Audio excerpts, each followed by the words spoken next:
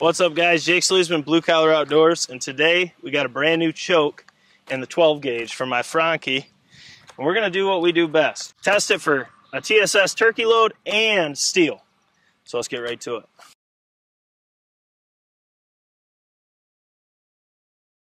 But the choke is right here. This is the Code Black Snowplow, which my understanding of it is it's the Code Black Goose but then you have the Strong Bond white powder coat, so you better concealment in the snow. But it essentially is the goose from what I'm seeing. It does look pretty cool. But what we care about is how does it perform. So I got it for Benelli Beretta. So of course we're going to shoot my baby, which I almost hate taking my Code Black Duck out of here and uh, I had a bunch of people asking me if I ever clean my ports. If Hawk zooms in here, you can see my answer is no. I've never seen it matter. You can see all that exhaust and residue. I do not clean my ports. I, I did for a while, and then I realized it hasn't changed the patterns in our testing, so I just don't do it. But that's all that's all personal preference. I think that just looks cooler, and the amount of ducks and geese geysers that this has gotten is. You shoot that one. Okay, so you can see now with this in my gun, I am primed up to hunt in the snow. Just kidding, but you can see. I mean, it she pops out right there on the old bottomlands camo, but all it is, like I said, it's pretty much the goose. You can see the difference here. Uh, we've went over that multiple times. Why? They control their pattern through how much it extends outside of the barrel. Now that's the duck is like made for three inch shells. This is more towards three and a half, but it shoots three as well. Everyone has their preference. Enough about that. It looks cool. It's thundering. We're going to get moving. Now the loads we're going to shoot, I kind of lied. Uh, it's actually a steel and tungsten blend for waterfowl. Uh, we have right here. This is a really good load. I actually, I mean, this Mercs Mercs geese and ducks. This is a three inch Migra. Uh, this is the steel tungsten stack. It's two and fives. Two shot steel, of course, and five shot TSS. Ounce and a quarter, 1450 feet per second. And then, of course, it's got their patented shot layer, uh, well, layered pellet placement process. Then we have something else that has not been seen before. Okay, this duct taped box contains a load that is 12 gauge, two and three quarter, ounce and five eighths, so 20 gauge payload and 12 gauge, going 1127, very unique, of nines TSS, and this is brought to you by our boys down in West Virginia, Viper Ammunition. I have a box full of goodies that's going to be on the channel shortly. We're doing our best, buddy. So just know we're doing our best. It's it's been busy right now. So this will be a really fun test for the the snow plow. And as you can see down there, we got a whole mallard ducky at 40. He's kind of pitched and landing in. I've been lazy. I haven't had time to brush hog the range. Then we got ourselves a turkey over there for this. So let's get right to it. Real quick, this is the first look at the Viper, okay?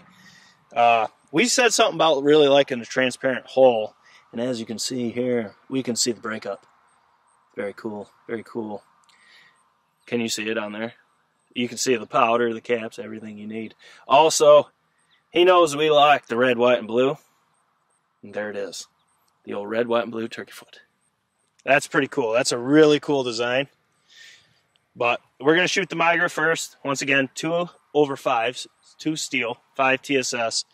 Franchi, uh, I know I got to aim a little low with this because this gun shoots high for me. And it's the same most of the time in Moose's 20 gauge. So let's shoot this real quick, then we'll shoot this, and we'll see if we can scribble before it's washed out. Okay, so here we go. Migra's in.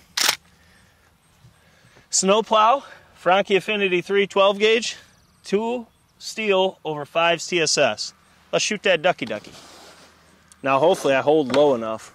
Hopefully it performs pretty good without there being any snow out. You ready? Yeah. All right. Yeah, the snow may improve pellet density.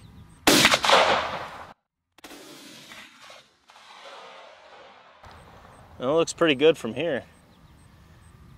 Did you see the smoke that came out the snow? Blew snow out of it. We're doing this quick today because we got a storm rolling in. Now we're gonna shoot this beautiful concoction. Viper ammunition. It's like a 20 gauge payload though, and a two and three quarter 12 gauge. Nine TSS. Let's see what we can do with the snowplow. At 30 yards.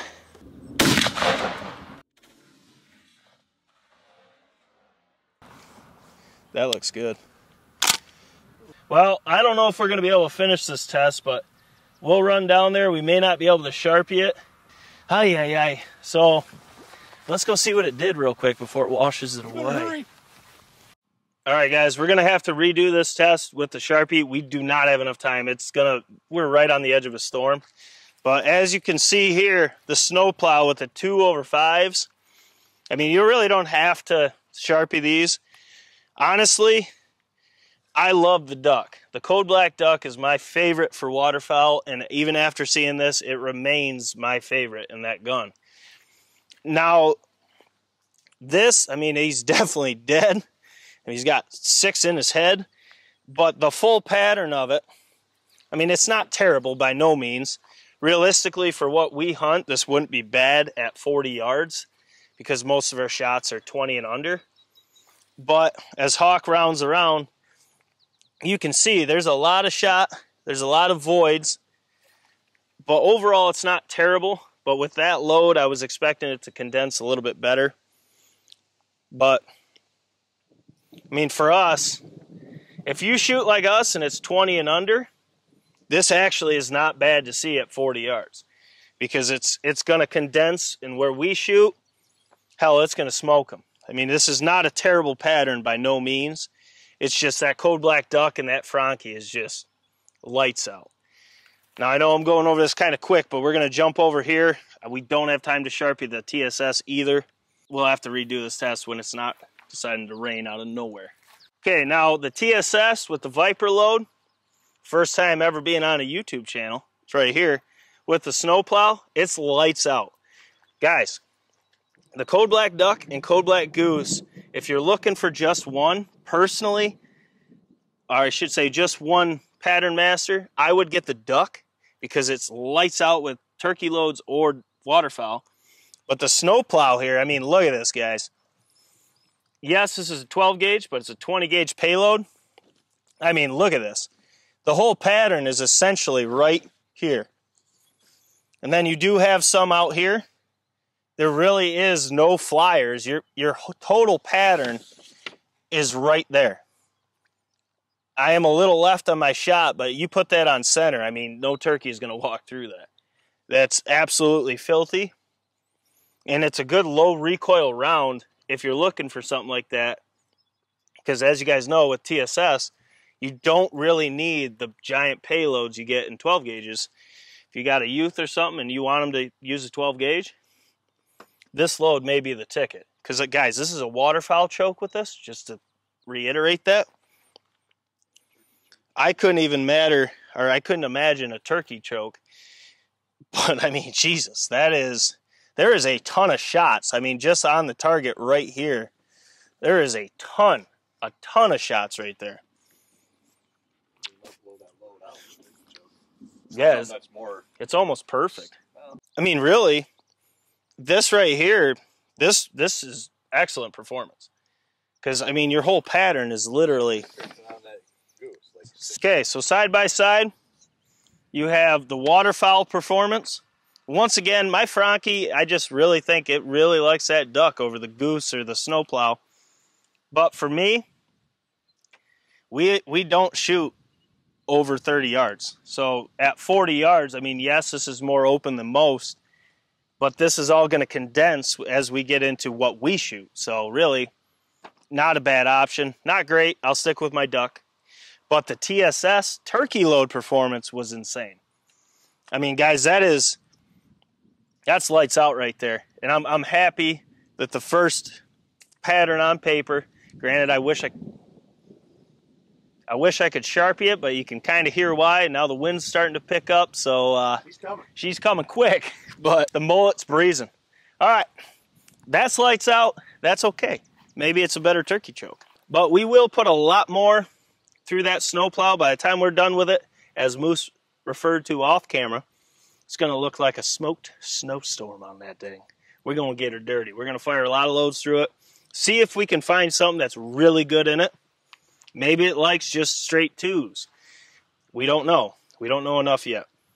But I tell you right now, that turkey load is lethal. I can't wait to put that through more turkey chokes and vice versa. But we're about to get stormed on. I'm asking you guys to help share these videos, share them via text, share them during, through social media, like and comment. It helps more than you guys realize. Our YouTube recommendations has dropped 78% from the turkey pattern series. So people are just flat out not seeing our videos. And that's why I kind of postponed the Montana decoy giveaway because 20% of our subscribers saw the video. I when we do giveaways, we want everyone who's helps us on the channel to have a chance. 20% is not good enough for me, so I'm going to try to wait on that and make sure everyone sees it. Please share the videos. This testing is not cheap. Every every view as we grow, it just helps us be able to bring better content to the channel. This is Jake Sleasman, Blue Collar Outdoors. It's raining, so we got to get the camera protected. Oh, we had a lot of. I just can't ever shoot my Beretta. Can't ever shoot it. We'll catch you on the next one, guys. Hope you're having a good day. Take her easy.